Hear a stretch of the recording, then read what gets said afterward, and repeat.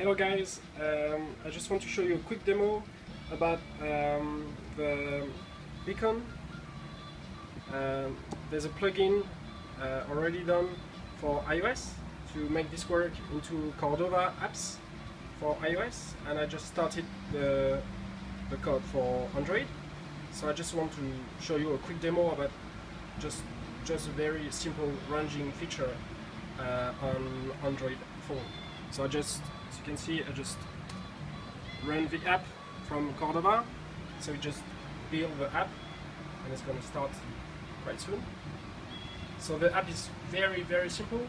I just implemented the ranging feature. Uh, it's quite, quite fast to do. So just want to show you. So here's the app.